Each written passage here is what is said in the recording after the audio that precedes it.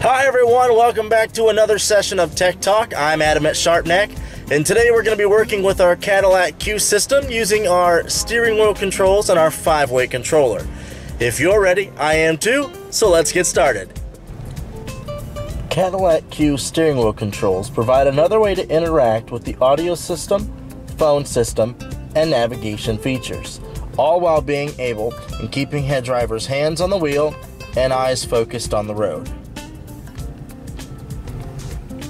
CUE controls on the left side of the steering wheel are the voice recognition control or push to talk. You have cancel voice recognition or end call control.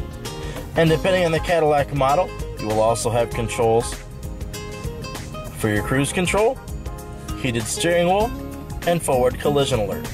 Key CUE controls on the right side of the steering wheel include four hard push buttons volume up, volume down, seek up, and seek down. Your seek up and seek down controls also move through your stored favorites and media files on any tethered device. The volume and seek controls surround CUE's five way controller.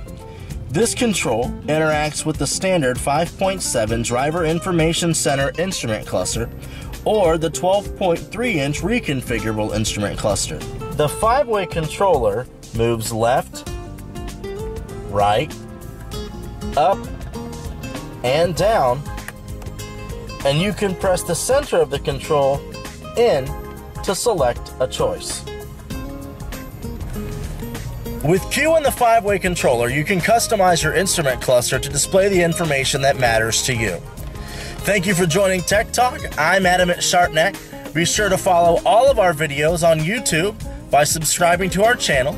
You can like us on Facebook and, of course, visit www.sharpnackdirect.com for all of our Tech Talk video series. Thank you for joining Tech Talk, and we'll see you next time.